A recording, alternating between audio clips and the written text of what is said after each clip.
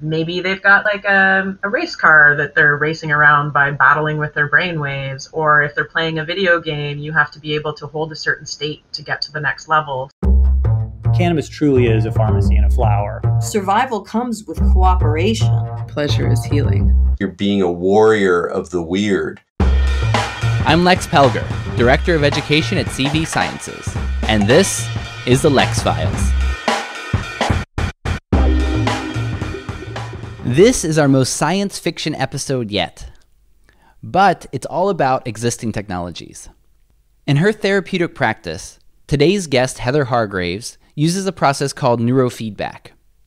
Neurofeedback is when you monitor live data from your own brain waves and then teach yourself to self regulate those brain functions that might otherwise be automatic or beyond your conscious control.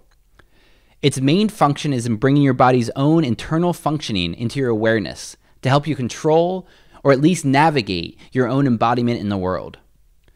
Athletes use neurofeedback to optimize their performance and can also be helpful for people with ADHD, stroke, and various other kinds of neurological issues. And while the field has been around for quite a while, there's still so much more potential waiting to be unlocked. So, if you want to learn more about your alpha waves and how to tune yourself to your own frequency, please enjoy this conversation with Heather Hargraves. Hello, everyone. I'm very happy to have Heather Hargraves on the show. Thanks for joining us. Thank you for inviting me. I look forward to this. And so, to begin, I just wanted to get your standard definition of what is neurofeedback? So, neurofeedback is using a brain computer interface to offer the person connected to the device a means of seeing their own neural activity or the patterns of their nervous system through feedback that the technology offers. And can you give us a little history of the field of how we started to realize that this was possible and perhaps even very useful therapeutically? So, back at Hans Berger, I think was, oh my goodness, I should know my history a little bit better date wise, but numbers are not my strong suit. So, I think it was the 1940s, 50s we first discovered um, that we could record the EEG and that even there was the ability to kind of like interface with it. And as the field moved forward, Joe Kamiya uh, started to really tinker with the alpha frequency and realizing that people could train their brainwaves um, through changing their attention and their focus. So he did a lot of work with graduate students, and then there was another researcher named Elmer Green who wrote a really wonderful book called Beyond Biofeedback. So anyone who's interested, it's one of those foundational books. And he actually did a lot of really cool research with um, shamans and different mystics, and he went to India and he was working with individuals there. Um, we also found that astronauts were going into space and they were having seizures and there was a researcher who was doing research on cats and sleep, and he had noticed that they had a specific rhythm in their brain that seemed to change right before they were about to pounce. And so he was actually just using operant conditioning to train these cats. And he wasn't really finding that it was helping them with sleep uh, or anything. So he wasn't sure what it was actually doing for them. They seemed to be a little bit calmer. And then NASA approached him and said, "Oh, we have, we're having these trouble with astronauts. Um, somebody said that maybe you might be able to help us." So he said, "Sure." So he started exposing these cats he'd already been working with for another reason um, to rocket fuel. And it's a bit of a sad story because the cats who hadn't been trained ended up passing away, but the cats who had been trained were able to tolerate the rocket fuel, and they realized it was because it was creating seizure activity in the brain. So validation of neurofeedback for epileptiform kind of disorders in the EEG was one of the first things they really saw that you could use it for. And so then they started training astronauts that was helping them. I think they also fixed the fuel issue, but it definitely helped them um, maintain their focus and not hallucinate as much and not have seizures that were causing the hallucinations when they were going up into space. Wow. And then the field has like just continued to proliferate since that time. Because now it's seen as useful for a number of therapeutic um, problems. Yes, Yeah, I mean, ADHD t- tends to be the one that has the most uh, research backing.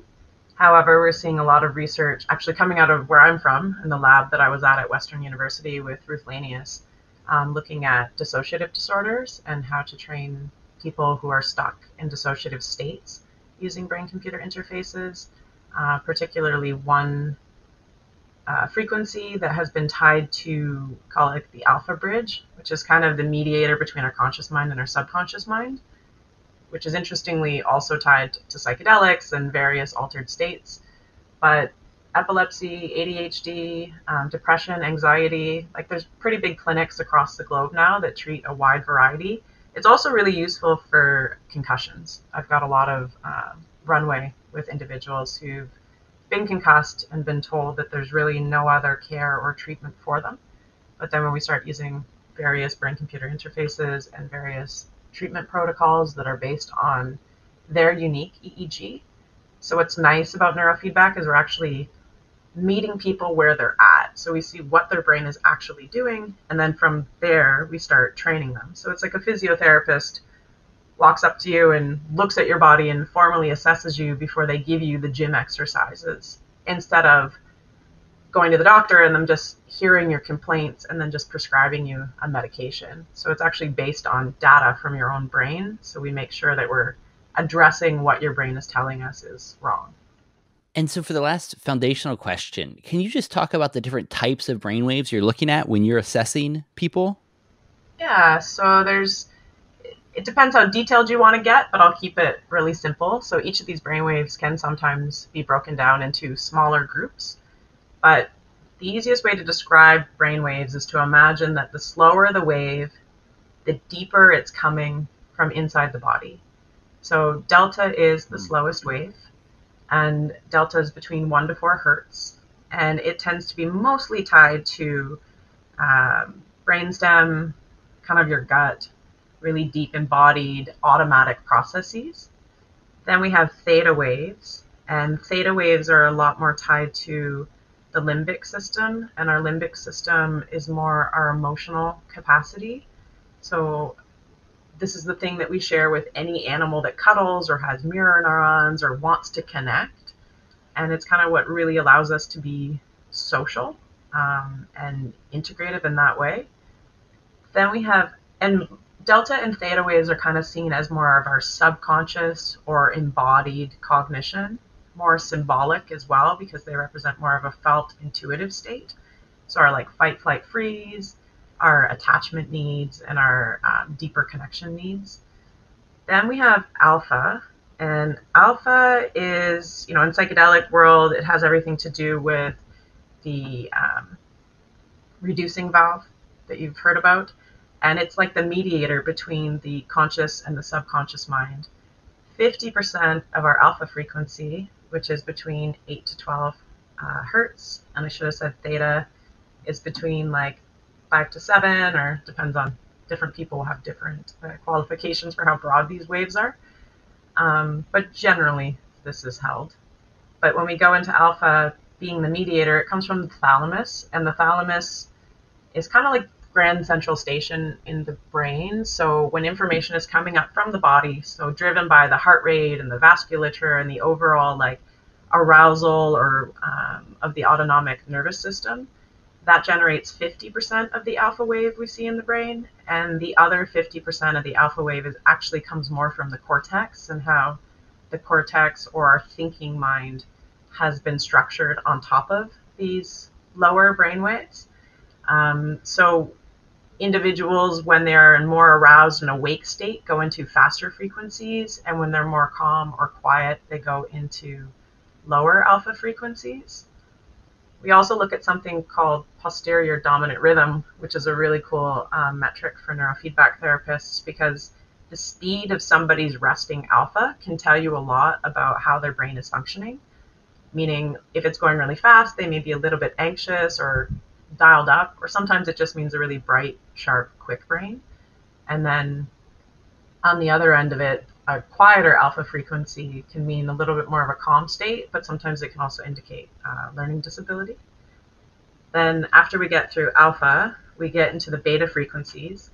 Um, this is everything from 12 to 15 hertz tends to be what we call the sensory motor rhythm, which is along the midline and has a lot to do with our like mind body connection as well and our general like processing and starting to be engaged in the world. And then as you get into faster beta frequencies, more and more attentiveness. And then as you get up into like the 22, 36 hertz, that tends to be more EMG or muscle tension.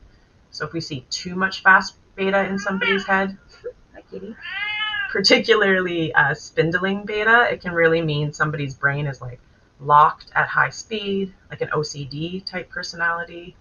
Um, then we get up into the gamma frequencies, which is about 40 hertz and above, and how far that goes is still hotly debated. And you know, a lot of this tends to also get complicated by artifact, meaning tension um, and body movement. But generally, we do see a lot of gamma in brains that are adept at whatever they're doing. So flow states. When somebody, say, really understands a piece of music, they may, when listening to it, you would see a lot of gamma in their brain because they understand it so thoroughly that it's effortless. Well, thank you for that great rundown. And so I wanted to ask you about the path that led you here because this is such a a unique intersection of science and technology, but also brains and neural states and embodiment, as well as mental states and spirituality. Mm-hmm. Um, and so, what what led you into this field? Oh, it's been a very rich tapestry of experiences. Um, I would say it kind of started with a car accident that I was in in 2001. Uh, prior to that, you know, I wanted to be an actress. I didn't really know what I wanted to do. I was a pretty creative kid, a little bit of an oddball. Um, and in 2001, we were making, uh, my ex and I were making a left hand turn on New Year's Eve. And a car, we turned in front of a car, and so we were broadsided. Uh, the car drove directly into my door, which meant directly into my hip. And this was before cars had really solid side impact beams, so I was crushed to about an inch within my life. Um, my mom said when she went back to see the car that she's not really sure where I was sitting. But my first memory is of opening my eyes and the jaws of life being inches from my face. Um, I was extremely dissociative, so my memories are very serene. I remember looking around and seeing people staring at me and looks of horror on their faces, and yet I was completely disconnected from my experience. Um, and then it kind of like broke down into all these little pieces as they took me out of the car, and I went to the hospital, and you know, I went on this really long recovery that led to about seven years of chronic pain. I shattered my pelvis in eight places. I broke my jaw in half, shattered some teeth, tore my liver, had a collapsed lung, three broken ribs. I crushed my heel they gave my parents they said i had 72 hours to live and if i made it past that that i should survive but with the pelvic injuries i had the risk of infection was really high um, yeah it was a it was a long journey to recovery and in that time i also lost my brother in a car accident four years later which really mentally put me over the edge like i would say at that point i had a complete break um, I became extremely agoraphobic and was just really confused by myself and the world and the pain I was in and this legal system that I was stuck inside of that was not making things better. So I got a really good clinician that I was really grateful for. And she actually, interestingly, got me to re socialize myself by going and petting cats at a local human, humane society because I was so afraid of people seeing me and looking at me that I just couldn't tolerate any sort of therapy she was trying to get me to do. She tried to get me to go sit at a cafe and just like be in a public place, and I would have a complete panic attack and couldn't do it. But by re-socializing cats, I ended up re-socializing myself, and I started really seeing the value of relationship. Um, I guess in hindsight, I see how she was doing her work now. I also started reading to a blind man, um, and I read to him for I did both of these things for about three years. And near the end of that, I started volunteering for hospice and I started working with individuals who had cancer. And just through helping and through engaging uh, different people, I started finding myself again. And then I started engaging in yogic practices and breath work. And the more I did that, the more grounded and centered I became. And so then I opened a yoga studio and I had that for about a year. And I noticed I had a lot of people coming to me that were being prescribed to go by their therapists. And they would stay before and stay after, and they would want to talk with me. A lot of them sometimes would cry, and a lot of emotional things were happening in the sessions, like in class. And I was like, man, I really don't know what to do with these guys all the time. I understand what they're going through from an experiential level, but I didn't really understand what was going on, what I should be doing therapeutically. And I did see a lot of snake oil salesmen um, in the community and just around the globe, right? Where $10,000 to learn specific meditations, and some things were getting kind of culty here and there. So I felt really drawn to wanting to understand how to ethically do what I was doing. So I ended up going back to school, and I had already done a degree in philosophy. And it's so funny in hindsight um, now, but my favorite topic was always epistemology like, how do we come to know things? Just fascinated. And my favorite class was mind design and Android epistemology. And it was all about how do we, um, like, how would AI work? And how do humans minds work. And it was all this debate around language of thought and connectionism. And as I moved further in my career and started working with brain computer interfaces, I could see how my early education started laying a foundation for what I'm doing now. But when I went back to school the second time, everyone was like, Oh, you want to study consciousness? And I was saying, I want to study meditation. But it wasn't that popular and it wasn't that long ago. It was like 2011. But through school in my second year counseling course, a neurofeedback therapist actually came and spoke to my class. And I remember just being enthralled because after my accident, I felt like my brain had been rewired. Like I went from being a very extroverted, gregarious, kind of highly uh, sensitive and engaged individual to this isolated, agoraphobic, panic ridden person. And I would just say it just feels like my brain's been rewired. I don't know who I am anymore. I don't know how to like find my way out of myself anymore. And as she spoke, even though I'd grounded myself a lot with meditation, I was still struggling with dissociation from time to time. Like I would just check out if I got too stressed, and it would take a day or two uh, to come back around. But as she spoke, I was like, this is speaking to me in a way that is like so resonant with my experience. And I stayed after school or class that day asking her a million questions. And then the next year, I found out that Western was doing research on neurofeedback. And so I was instantly fascinated. I joined the lab, I started volunteering with them. And then it just continued from there. And then I ended up doing um, my undergraduate research in meditation and looking across different meditation styles. And we were developing a state measure of meditation instead of a trait measure of meditation. Um, there was a lot of measures for traits, like nine, but meditation is both a state and a trait. And so my supervisor was like, we should probably find something that tells us are people paying attention to the meditation and is it different for different meditations across different mental health diagnoses. And so we looked at six, six different types of meditation, and then we kind of dissected people's questionnaires and what kind of mental health issues they had. And I started getting a sense of, oh, okay, there actually is some alignment with what kind of meditation we should prescribe and when based on someone's clinical population. Um, and then when I got into my master's program, psychedelic research was starting to become popular, and we realized that there was an overlap between some of the dissociation work we were doing and looking at specific brainwaves and the brainwave changes that we would see in the psychedelic literature that was coming out.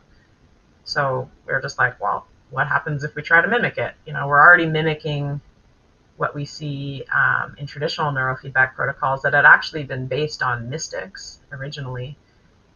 And then we noticed that psychedelics were doing something similar. So then that ended up being my whole uh, thesis research. And I've just continued with this pattern since, or this path, I guess. Wow. So it just unfolded one step after the other. And it sounds pretty natural, even though it is uh, quite a journey. It has been, yeah. It's been a very interesting one. Like it's the further I walk and the more I look back, more I'm like, it's so fascinating to watch life unfold and to see that your own like fractal patterns. Do you know who uh, Benoit B. Mandelbrot is? Do you know what Mandelbrot sets are? Mm-hmm. He's But got maybe you should define it. Um, it's just like these patterns that are recursive and repetitive that no matter how deep you go into them, they just like continue to repeat themselves. And he's got a quote, I can't find the exact quote, but I, it was something about when I look back on my life, I thought that it was just a series of random events, but the further, the deeper he got into his life and the more he could look back, the more he could see that there was like a fractal pattern essentially to his existence. Um, and it's just it's how humans make meaning of things like i know that's part of it but it is an interesting thing to wander the path path of life And it does. It's it's so true how deep it goes. I was just reading an article about the fractal patterns of the human heart at Yeah. a physiological level. It it shouldn't be any kind of one system in the heart for how it branches and and Yeah. things like that. It needs to be somewhat random yet always repeating in a certain way. And yeah it's probably true that that just expands out through everything. it does and that's part of i mean when i work with people now as a clinician i'll do a lot of work with heart rate variability. And we know that the more coherent someone's heart rate the more responsive they are to life.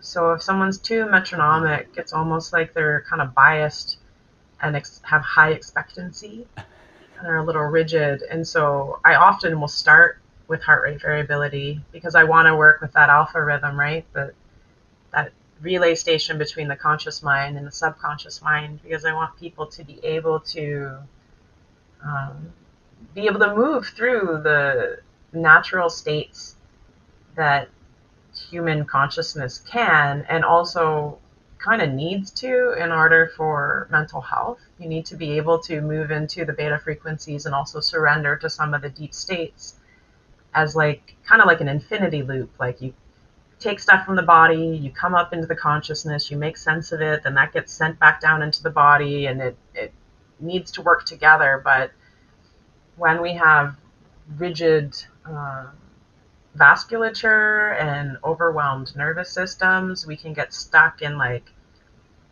repetitive loops that aren't necessarily giving us freedom. They make us kind of like stuck in patterns as opposed to responsive to the world and blossoming, I guess, into who we are as opposed to kind of feeling stuck and not like we're growing or journeying anymore. We're just kind of reliving Groundhog's Day in a sense. It's so interesting because the terms you're using just sounds like everything you hear in and around the psychedelic world and Yeah. the world of shamanism. And so I was wondering if you could talk about I've I've heard you say that you can kind of recreate psychedelic states using these techniques. And so could you describe what that's like and what some of the differences are between I love that cat. My Um, cat is really yeah, no, old and grumpy and very demanding. She's a love bug, but she if she's not getting what she wants, she's very vocal. the best ones always are. It's 15. Uh, Wow, good for her. are you done now? You gonna go? You can hang out. We we welcome all voices here. it's so funny. Yeah, Her it's great. Mork. She had a sister named Mindy, so Mork and Oh, Mindy. that's- She's blind in one eye, so as a kitten, she used to like get hit in the head with toys and fall off of things and kind of walk around funny. So I just was like, this cat's a little odd. And when she was one, I found out that she was born blind in one eye, and I was like, oh, okay, that's what's Oh. going on.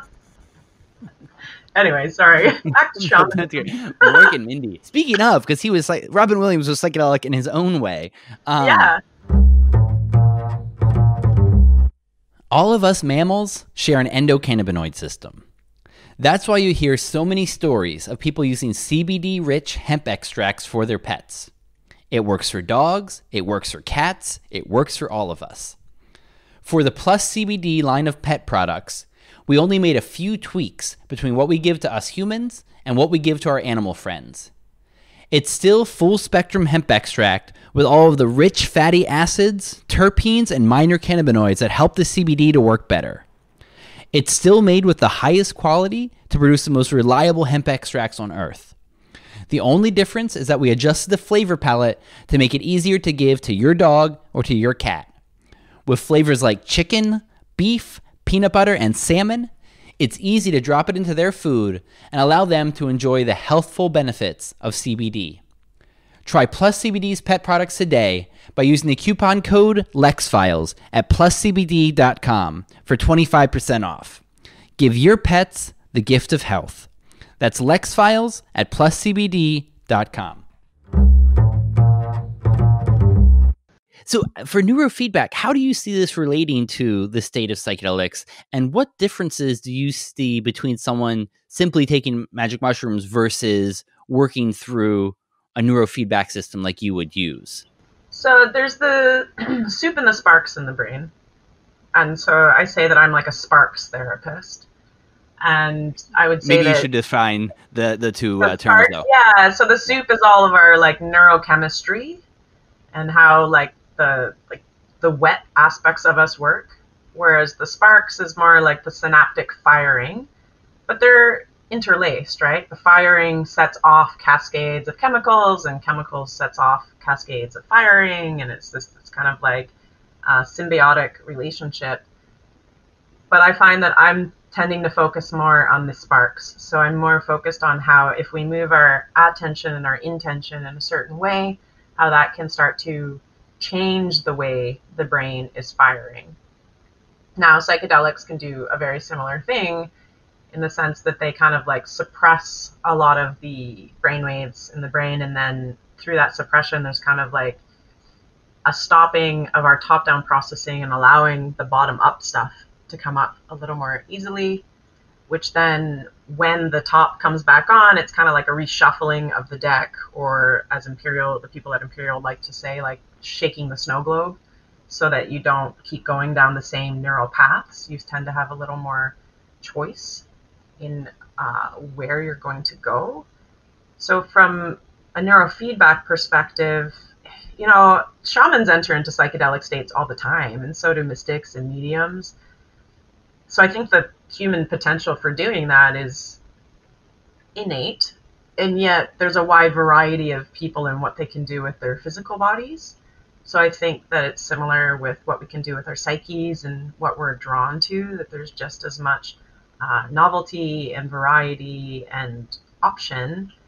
But because bodies and, you know, going to climb a mountain or going skydiving or sitting and meditating or riding a horse is just so much more concrete and something we can see, the idea of being able to use your psyche and traverse through states and challenge yourself to go into different states. Um, there's a lot of people who are hacking flow and a lot of meditators who seek this, but it's not as easy to grasp by someone who's not actually put the effort in time into really thinking about it. It's not as overt.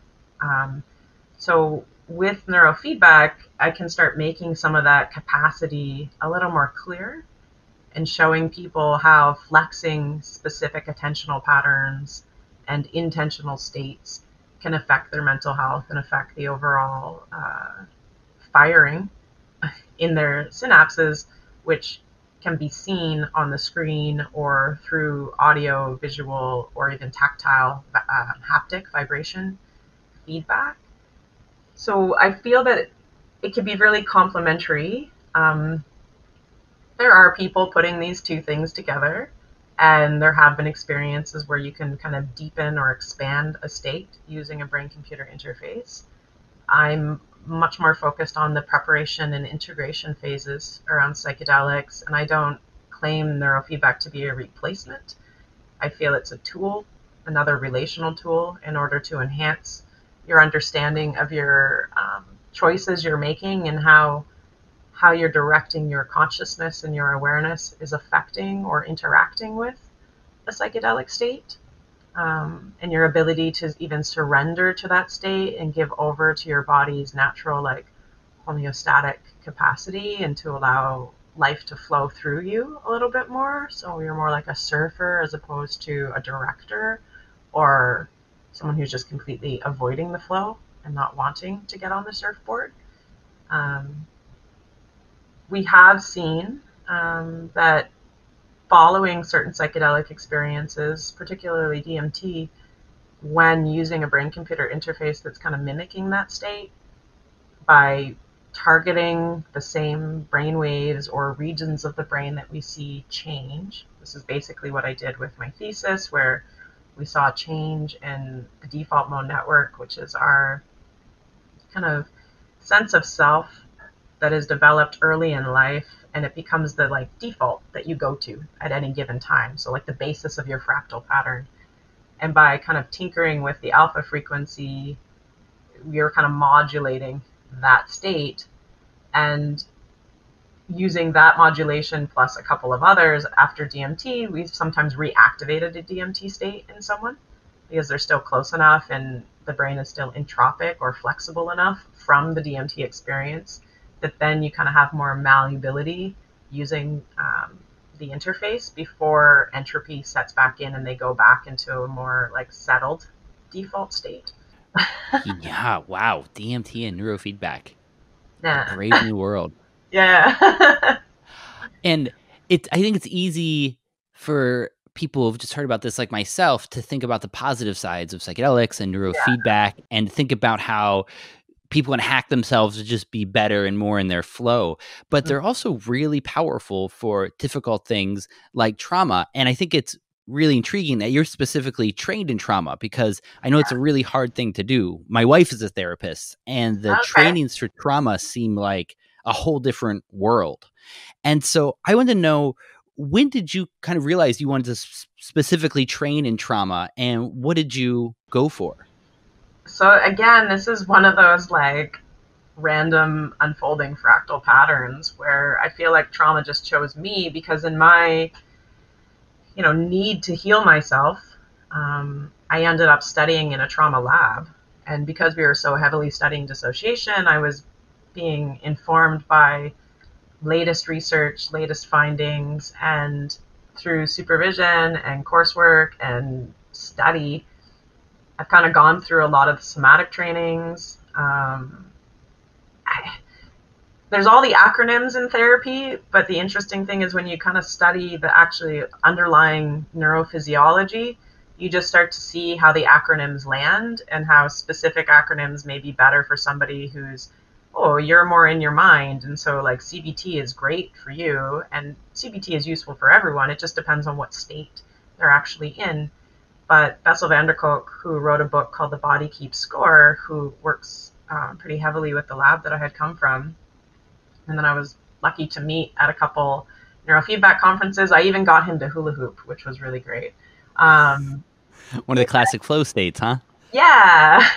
He says that walking therapy or talking ther- talk therapy is like walking therapy for someone without legs. Um, because when someone's in a traumatized state, all of this like embodied content that we have, these slower frequencies, brainstem, limbic system, up into, you know, then gated through the thalamus. If you're being chased by a tiger, you cannot think about that tiger and you cannot think about where you need to go. You need to run. So the body actually has a system where bottom up is actually stronger than top down. And we're built hmm. from the bottom up. And individuals who've had trauma, particularly early in life, tend to have a really strong bottom up uh, override. And they may never have built a very strong like cortex or thinking self to interface with this bottom up. So they get easily hijacked, easily overwhelmed. And we actually know that the prefrontal cortex will turn off in a state of anxiety, trauma, vigilance, depression, dissociation. So, using therapies like neurofeedback that are much more about embodiment and about the sensory world and engaging people in observation, because the mind or the body, I mean, doesn't know the difference between reality or what you imagine, we have to use observation and imagination to pull us out of hijack states so that the nervous system calms down enough that our software can kind of reconnect with the hardware, which is the prefrontal cortex can start updating itself so that it can function better with like the initial hardware and the default sense of self that we have. And so it's kind of something that I've just come to through my studies, I would say, and just like a deep curiosity to understand this, and then studying like various somatic practices. I'm really interested in deep brain reorienting right now, which is working um, using tension response and responses in the body to release uh, innate orienting responses. So a baby, the first thing a baby can do is orient towards a caregiver, and they do that through the muscles of their neck or their eyes. And primarily, we're drawn to attach or to avoid. And if that orienting response early on is not set in a way that is um, allowing someone to be in a state of connection, and instead they oscillate between, you know, anxiety or pushing someone away, you kind of have to work. I kind of imagine it like a tree. I have to work at the roots of the tree before I can start tending to the branches of the tree because some clients will go to therapy and they do a lot of like branch like CBT, which is helpful and necessary. Um, but they just keep finding their branches are dying and they're getting really frustrated. Why is this happening? I said, well, you just may not be getting good nutrients. And so then we move more into embodied work with individuals who have trauma backgrounds because it tends to be more embodied. And for those listening, CBT is uh, cognitive behavioral therapy. Yeah. And it does what you're talking about. It makes so much sense to, you know, a Westerner spends too much time thinking and reading books. You know, for so much of my life, it was, ah, the body, that meat sack that carries my brain around. and it's such the orientation I feels like we're moving towards as a culture. And even the word somatic, I'm not sure I heard until I met my wife. Um, yeah. And so it's it's really interesting to hear how you're using different methods that if it is the brain that needs work done great but if not look to where the body is and especially the body keeps score that's so much of the memories the pain is already in there. It just sounds so tricky to be doing this with such a vast array of people that you probably see in your practice. Yeah it's it's tricky but i just i don't look at people as if they're broken ever. I'm just like well your body is brilliant and its prime directive is to keep you alive. And I know there's disorders, you know, and we all there's disorders of the mind and physiology where the nervous system can be attacking itself. Like so, I don't discredit that, but generally, um, the body is definitely you know we're geared for survival. And so I when I talk with clients, they'll feel like their nervous system is attacking them or after them, and we just go on a journey of trying to understand the stories that were created and why the nervous system is reacting the way it is and how they kind of got stuck in these protective loops. Um, and then as we slowly go through the narrative of who they are and the physiological responses that go with that narrative, we can start understanding what is your default and then how understand why it's that way, start showing compassion to that pattern, and then slowly starting to undo the knots and kind of rewrite the narrative and moving away from reactive patterns to more integrative patterns that if you have fear, someone with trauma may fear their fear or hate their fear. So fear shows up and they get really angry. But in truth, fear may have been their best friend. Yes, fear signaled that something bad was happening. So you learn to associate fear with something bad, but your fear wasn't bad. It was the dysregulating experience that was dysregulating essentially, and your fear did exactly what it should be or should do. So we have to renegotiate our relationship with our body's innate capacities and the spectrum of emotions and see them as informants, guides, sentinels, protectors, instead of like punishers, um, suppressors, and like overwhelming states. That it reminds me of the quote uh, that means a lot to me. I can never remember who said it. The worst part of it is everybody makes sense. Yeah. that all with what's happened to the people that seem especially hard to deal with, y- none, none of us would be any different than them if we Yeah. experienced that sort of trauma. And it can be really easy to forget these days. Yeah, and what's nice in such a cognitive culture, when we when I shift into using brain computer interfaces, it's really relieving for some of these clients because we just start working through relationship by just helping them relate to themselves first because they may be really reactive to a relationship with another because those were so traumatic. So the computer is kind of this, you know, unbiased, honest reflection.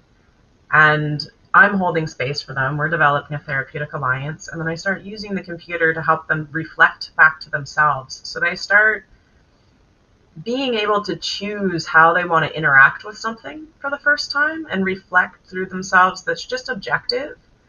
And then I'm conversing with them about how is that going what are you noticing and then i can we have got certain metrics and measures and kind of averages um, that say ah you know that's a relaxed nervous system or oh that's kind of a stress nervous system. And a lot of people with long-term stress experience relaxation as stressful so they get they don't have a default state that's comfortable. Their default state is actually very vigilant.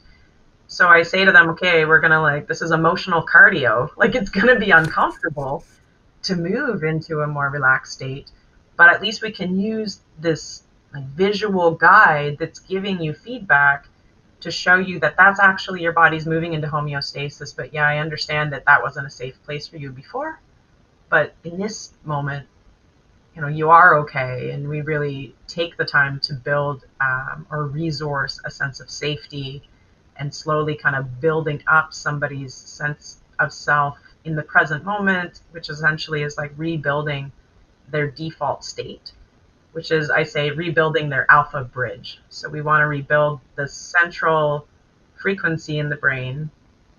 That's the rhythm section that has a lot to do with both being embodied and calmly conscious. More resources. It, Yeah. It's, it's an inspiring way to think about this, I believe. Yeah, it well, it, it definitely like depathologizes people. Like, get so many clients come in, they got 15 disorders, and I'm like, so you've got some trauma, and your nervous system really had to, you know, adapt excessively, and it's kind of burnt out and exhausted, and you're stuck oscillating between over arousal and under arousal, and you've just never had a chance to nurture calm, and that's just what your nervous system has trained. So we're just going to start training calm. And cool thing is, is that some people who've been through a lot of stress, post-traumatic growth, you know, there's a book called uh, Breaking Down is Waking Up, and it's all about people who've gone through psychotic breaks. And he's got an image in one of them where it's a circle, and he's got a, a shaman at the top or a mystic, and an enlightened master at the bottom.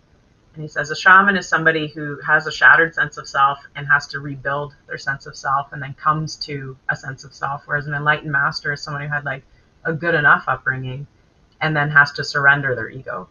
And they're just different ways of getting to the same thing. But in the end, it's like a full spectrum. You, you need the ability to go into these deep states and to have an ego and to come into yourself, into the present moment. And so, traumatized clients, there tends to be a poetry in it as they start to understand themselves that they're already masters of state shifting and they don't have the same blinders sometimes as someone who grew up in the, you know, with good enough and certain beliefs and this is the way the world is.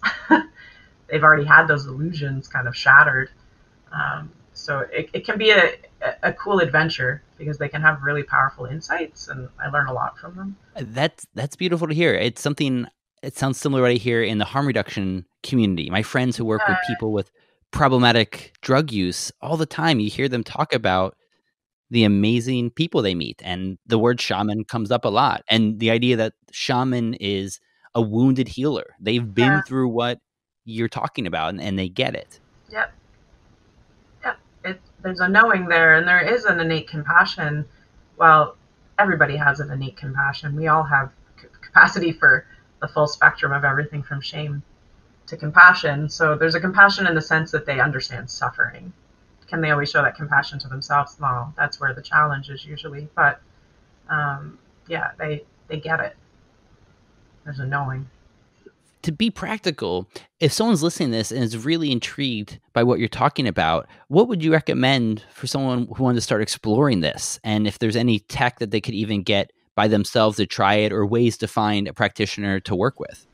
So, right now um, is a really exciting time in the field because I think we're at truly at the precipice of technology finally becoming accessible um, for a greater population. You know, companies like the Muse have kind of pioneered this, um, but they're limited to two sensors, and there are some other companies that are starting to try to piggyback onto what they're doing and work with people from a distance, but there's still some limitations there. So if someone really wants to get into this, if you've got a trauma background or something going on with mental health, I mean, foundationally, you need to be working in relationship. So it doesn't matter what tool you're utilizing, whether it be meditation, brain computer interfaces, psychedelics, it's the relationship that's the key, the therapeutic alliance, and then whatever tool is put upon that should enhance that relationship.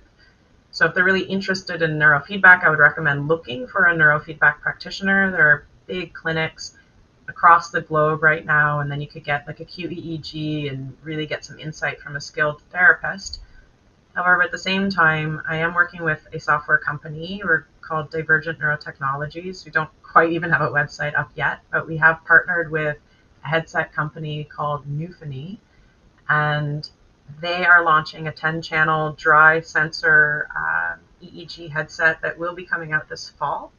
And our goal with this software platform is to create a platform that will be hardware agnostic and that can be used.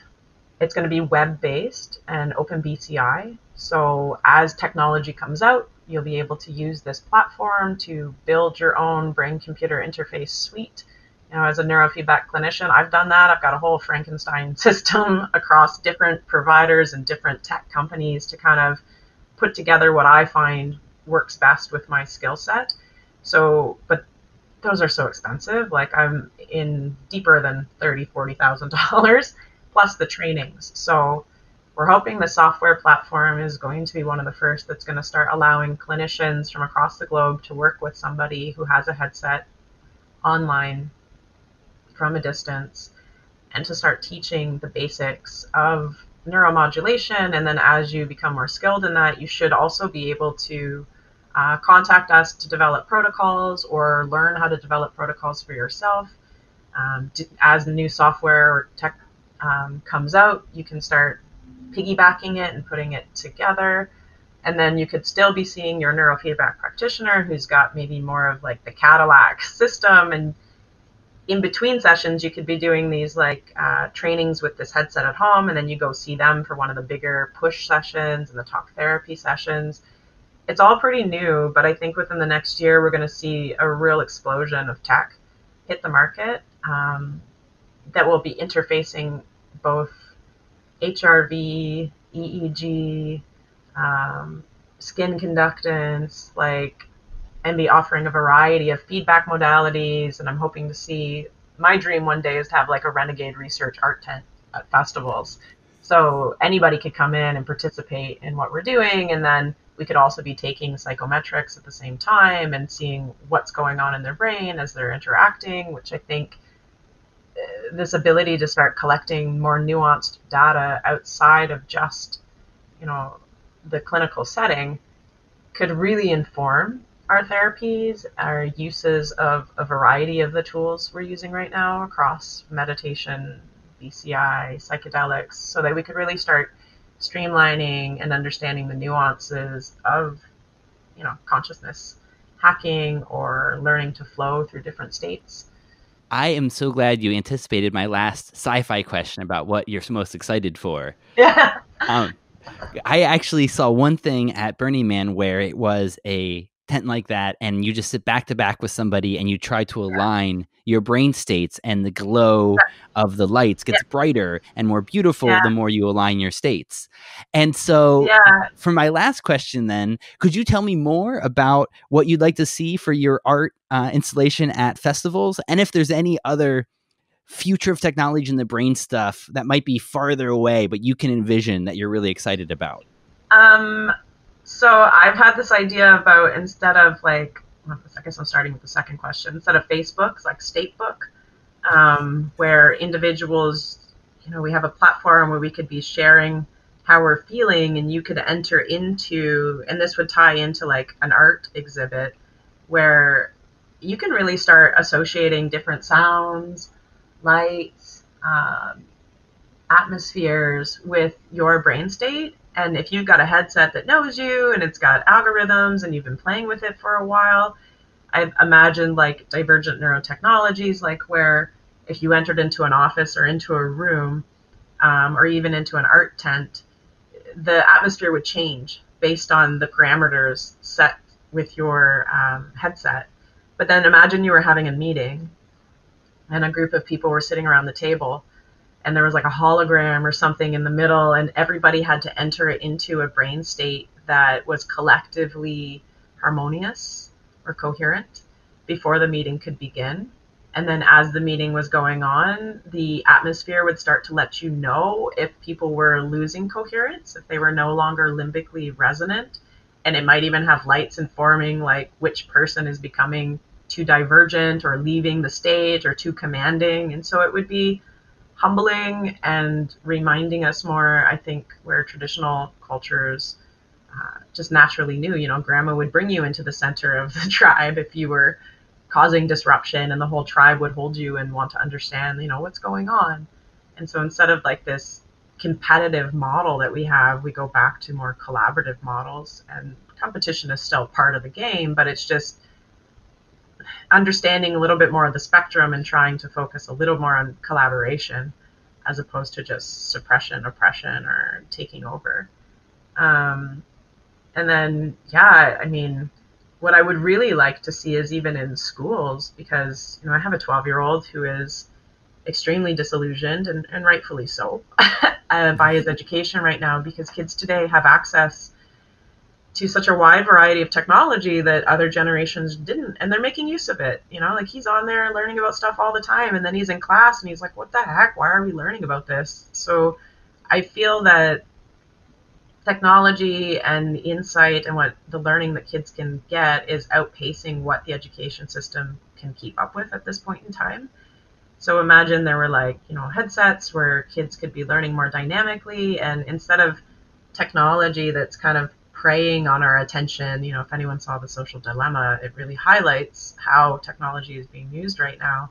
That technology that's reflective. Like I would much prefer my son be able to play with his friends and if they want to use computers, which they all are, maybe they've got like a a race car that they're racing around by battling with their brain waves or if they're playing a video game you have to be able to hold a certain state to get to the next level so we're still training the limbic system and we're still training our default states and we're still training relationship and our sense of self which is the foundation of a healthy of like of mental health in general. And more and more teens and we're seeing this proliferation of increase of anxiety and depression and not knowing really who they are because there's not as much reflection going on which humans need. There's not as much relationship um, it's more about consuming or just downloading information as opposed to engaging the information. So I would hope more like Star Trek, you know, where technology is supportive and interactive uh, and engaging as opposed to just kind of siphoning our souls the way it is right now. Those are fascinating ideas, and that's from, and I read a lot of sci-fi, and those Yeah. are great ideas, uh, touching on education, art, and business. Uh, Heather, thank you so much for coming on today and sharing about this. Uh, we'll have links to all of Heather's work in the episode notes, and hopefully, we'll get a chance to get you back on again to hear about updates from the field. Thank you so much for sharing today. Thank you for inviting me. Oh, and thank you to Mork. Yes, thank you, Mark. She's gone off. She's snoring over there now. Okay, good for her. All right, until next time. Thanks for tuning in. To listen to other episodes, check out pluscbdoil.com, listen on all the podcast platforms, or see us on YouTube. Subscribe to the CV Sciences YouTube channel to see each new episode. And if you'd like to buy any of our fine products, use the coupon code LEXFILES for 25% off. If you have any questions, compliments, or suggestions, feel free to write me at research at cvsciences.com. And please follow the podcast on Twitter at The Lex File Show, where I try to keep it fun. If you enjoyed this program, please give us a like on your favorite platform or share a link to your social media. It means a lot to us. The Lex Files is produced by Matt Payne. The YouTube videos are by Brendan Cleek. Thank you to Tina Molnar and Jasmine Morris for the visuals, and the music is by Jake Bradford Sharp. Our sponsor is CV Sciences, makers of America's favorite CBD oil. And I'm Lex Pelger, signing off.